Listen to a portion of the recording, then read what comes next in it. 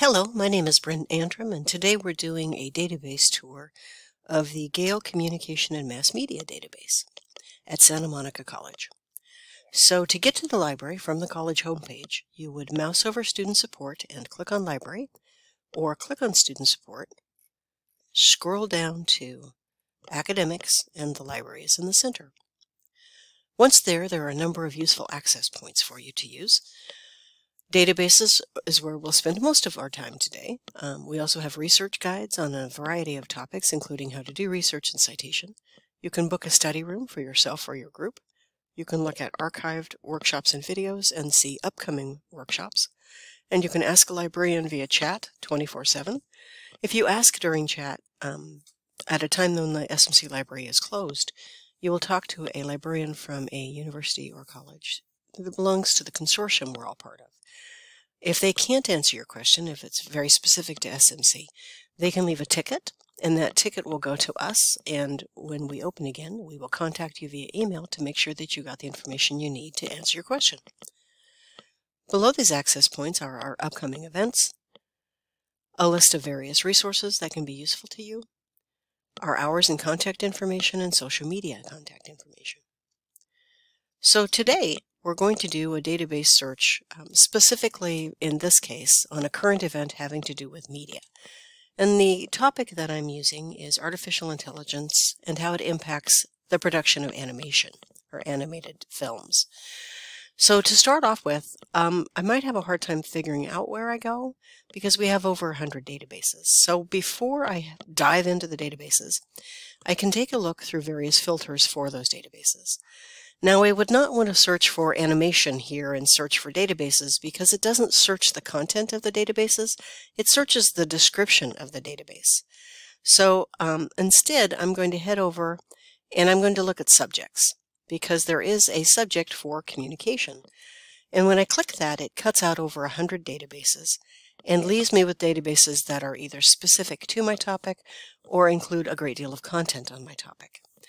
So today what we're going to look at is Communications and Mass Media Gale OneFile. This database looks familiar to other Gale databases, but as with all databases, it has unique content. So I can start in a subject guide. I can search for a specific publication if I have that in mind. But today I'm just going to feed it my topics and see what it gives me. So if I say artificial intelligence, if I can spell it right, and animation. Notice it gives me options. It says, are you talking about pattern recognition? And you say, no, no, no, no, I'm talking about animation.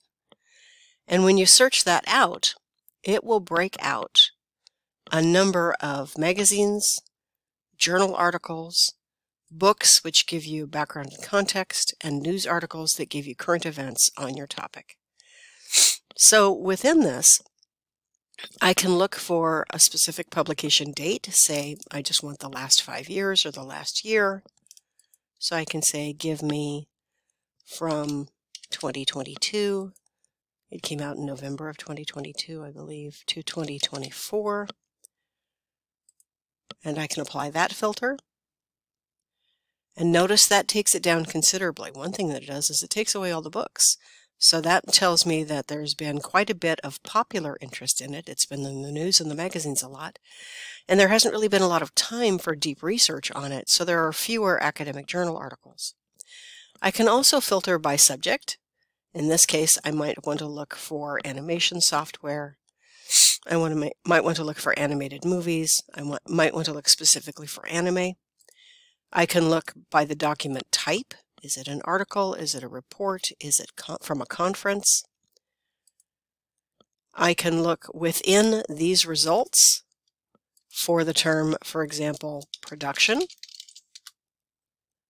And it will take out anything that does not specifically have that term in it. And then I can scroll down and I can take a look and see what we've got.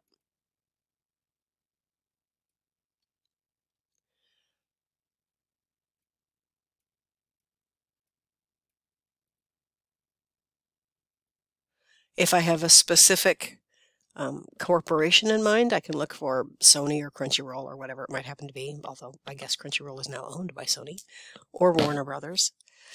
And if I find something that looks interesting, I can click on it. Once I'm within the document, it will allow me to change how I display it to make it easier for me to read. It will allow me to save it, print it, and download it. It will give me options to cite it or get a permanent link. It will give me other articles that are related to it, and there's quite a few. But notice these most of these are about Barbie, they're less about AI, and some of them are about AI. And at the end of this um, article, it will also give me an option for, in this case, take a look at the original content and give me options to make citations. Keep in mind, fix the citation when you put it in your paper because sometimes the robot makes mistakes, so go by the template that your teacher gives you. And then I can go back to my results and I can find um, another article, maybe a journal article,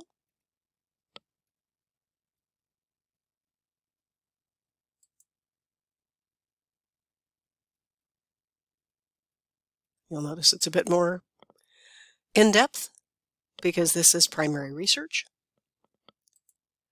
So this is a good starting place if you have um, an idea of what you would like to take a look at. Keep in mind that it is not a one-stop shop. I highly recommend that you use between three and four databases for any essay that you do um, in order to get the broadest possible understanding of your topic so that you can present it well. If you have any questions, you can always ask a librarian. Good luck with your research.